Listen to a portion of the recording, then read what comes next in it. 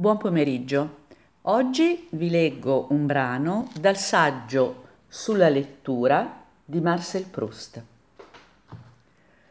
Qualche volta a casa, un bel pezzo dopo cena, le ultime ore della sera davano anch'esse ricetto alla mia lettura,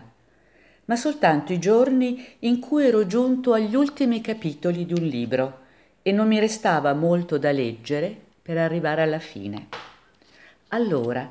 rischiando il castigo che mi sarebbe stato inflitto se fossi stato scoperto e l'insonnia che terminato il libro sarebbe forse durata l'intera notte,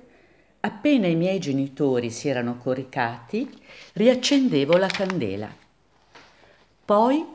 l'ultima pagina era letta, il libro era terminato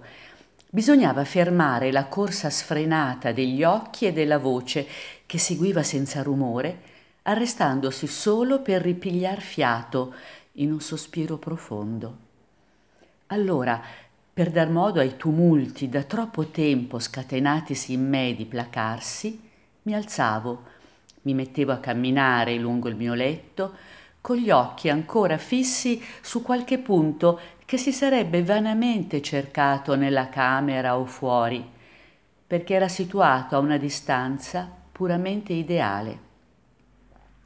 Dunque, quel libro era soltanto questo,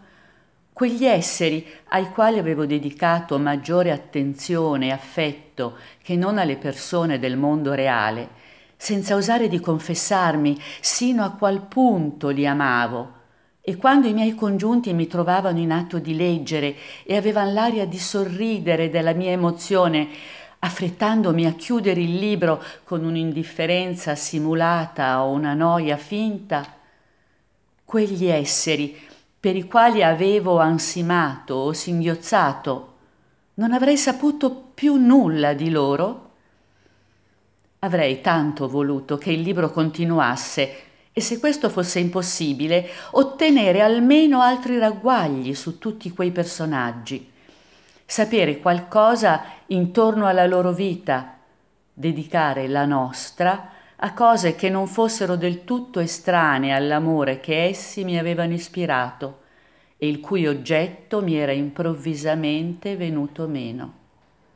avrei voluto non aver amato invano per un'ora degli esseri che il giorno dopo non sarebbero stati che un nome su una pagina dimenticata. Grazie per il tè.